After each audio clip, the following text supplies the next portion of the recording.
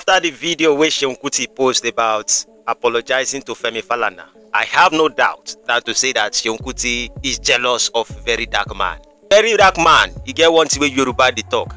Amọ̀nìṣe ni, àfàìmọ̀nìṣe ni, Ọlọ́run má jẹ́ a rí. Àkóbá àdábá, Ọlọ́run má jẹ́ a rí. Seun Kuti is the one that is saving you at the same time is the one doing you. It is so absurd, according to Oyinbo language, to ever think that Seun Kuti will stoop himself so low to even come out. He also speak about very dark man and he shot himself at the foot.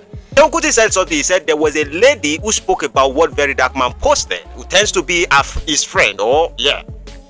And then he told the lady to sue very dark man if he had said something like that. Now, Seun Kuti asked very dark man to post something about the Femi Falana, and the Femi Falanas decide to sue very dark man regardless of the ungood apology that very dark man gave to them. Now, Seun Kuti also is washing his hands of it and is saying very dark man did it on his own.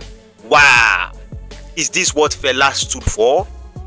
Na me say make you do am and no come dey your back again when the thing come dey throw out consequences to the action. Kuti, I wouldn't say I'm disappointed in you, but in my heart, I am. When you are revolutionary and you talk the truth, people will come and slap you down. Then you talk the truth again, they lock you in jail. Them never hear anything at all. Then go hear pansa pansa. When you are revolutionary and you t- talk the truth, people will come and slap you down. Then you talk the truth again, they lock you in jail.